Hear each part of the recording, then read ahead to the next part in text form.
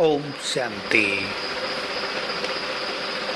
हम इस धरा पर महान आत्माएँ हैं, पूज्य आत्माएँ हैं।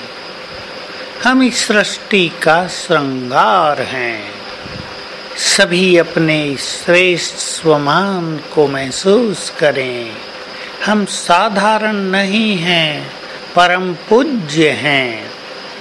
जबकि हमारी जड़ मूर्तियों की भी इतनी मान्यता है तो हम चेतन में तो उससे बहुत ज़्यादा श्रेष्ठ हैं।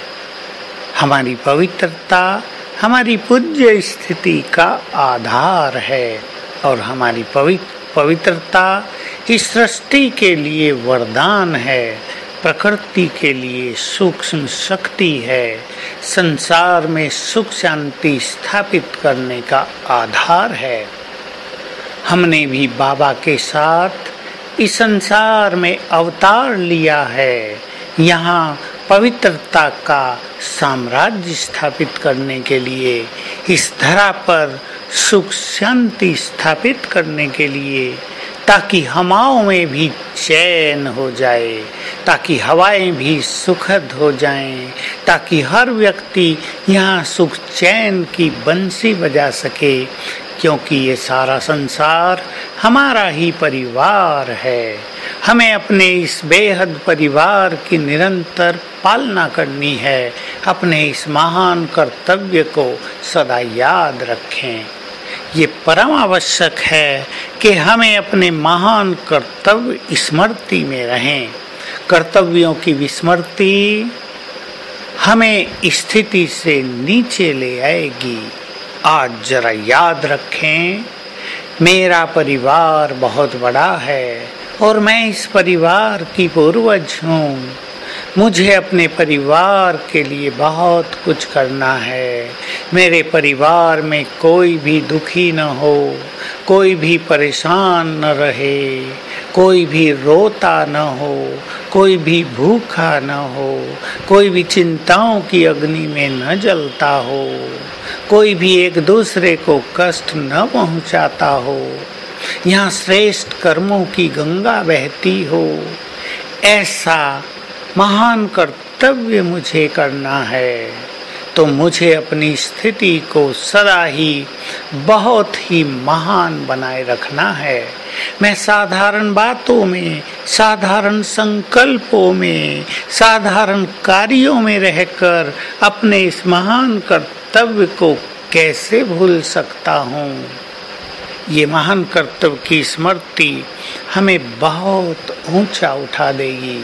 तो सभी गहराई से एकांत में स्थित होकर चिंतन करें, मेरा कर्तव्य कितना महान है और मेरी स्थिति कैसी है। मुझे करने कितने महान कार्य हैं और मेरे संकल्प कैसे हैं। जिनके संकल्प साधारण होंगे, जिनके बोल साधारण होंगे, जो ऐसे ही साधारण रूप से जीवन चलाते होंगे, वो भला ऐसे महान कार्य कैसे कर सकेंगे?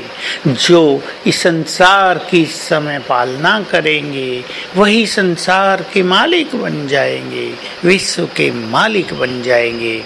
तो मैं परम पूज्य आत्मा हूँ, मैं पूर्वज हूँ ये सदा स्मृति रहने से हमारे वाइब्रेशंस के द्वारा सर्वात्माओं की स्वतः ही पालना भी होती रहेगी।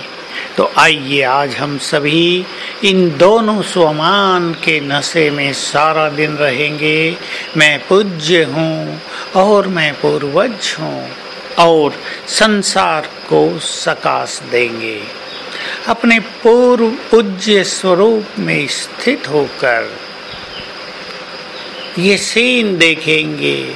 मेरे सामने हज़ारों करोड़ों मनुष्य आत्माएँ हैं, जो मेरे द्वार पर आई हैं, जो मुझसे सुख शांति मांग रही हैं।